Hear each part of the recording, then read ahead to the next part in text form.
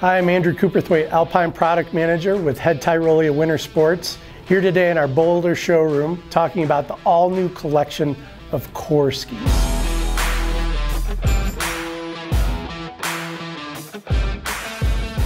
Now, before we get into what's new, we got to backtrack a little bit and talk about what Kore has been. In season 2017 and 18, we introduced a new line of skis called Kore. and that really redefined the freeride market as we know it today. And what I mean by that is we introduced a line of skis that took lightweight and performance to a ratio that we had never seen before. We challenged our engineers to create designs and construction that would allow us to achieve a lighter weight ski but maximize the performance. And the stereotypes to lightweight skis in the past was always the lighter you got, the less performance you got, the less dampness you got, the less stability you got, the less edge hold. And we shattered that stereotypes by introducing the Kore skis. Now when we talk about today's new Kore ski, and when I talk about new, I mean all new, new constructions, even a few new models. We're talking about taking that weight down even a little bit further and extending that performance portfolio even higher. And not only just a higher performance portfolio, but a more versatile performance portfolio when we look at the line as a whole. So let's talk about what's new. As I mentioned before, the construction of Kore is entirely new for this season. And what we've done is we've started with the core structure of the ski. That core structure is a blend of Karuba wood and poplar wood.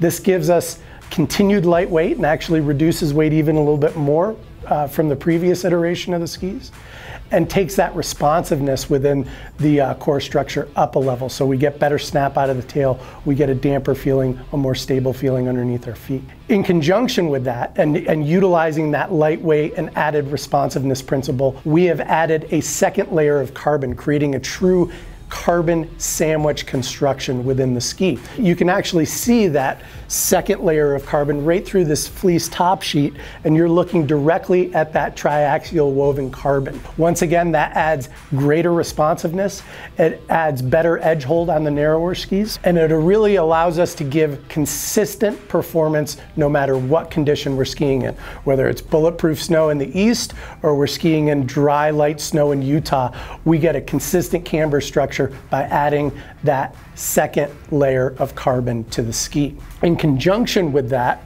we have also added what we call different constructions for different conditions.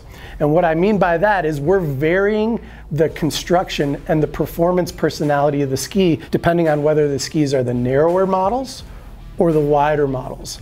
The narrower models like the Kore 87, the Kore 93, and the Kore 99 that I'm holding here, have a more robust construction. So we vary the thickness of the materials that we use in them. We vary the graphene that we use in the tip and tails as well. And we really try and go for a construction that is very responsive, that has a greater level of dampness and stability to it, and better edge hold in the narrower skis. In the wider skis, we go for a construction that is a little bit more playful, it's a little bit surfier, and at the end result, a little bit softer. So in those soft snow conditions, you get a ski that is truly more intended for those soft snow conditions. Like I said, we go ahead and vary the thickness of materials we use there. We also use what's called a progressive chamfer in the ski.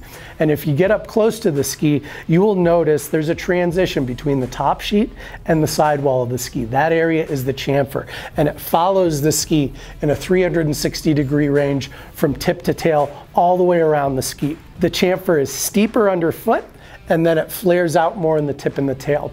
That chamfer allows us to have a lighter swing weight in the tip and the tail, makes it more playful in the tip and the tail, and allows you to maneuver, especially in soft snow, a little bit. But when we get underfoot and we steepen that, we add more responsiveness to the ski. And you'll notice in the narrower skis, the 99, the 93, the 87, that the chamfer doesn't come quite as far in on the structure of the top sheet. When we look at the wider skis, the one all new 111, the 105, and the 117, you'll see a greater amount of chamfer softening that top sheet, softening that torsional rigidity, making the skis a little bit more playful and a little bit easier to control in softer snow. Lastly, we have changed the size designations. So in the past, our Kore skis had nine centimeter increments. Now they have seven centimeter increments so that we can fit you, the skier, more personally and get you in a better setup that is more feel focused to the type of skier that you are. Now, when we look at the full line of Kore skis, you see all the models that you recognize in the past and their names, but we've got the new constructions that I just talked about and a new model within the men's line, which is what you see here. We have the Kore 87.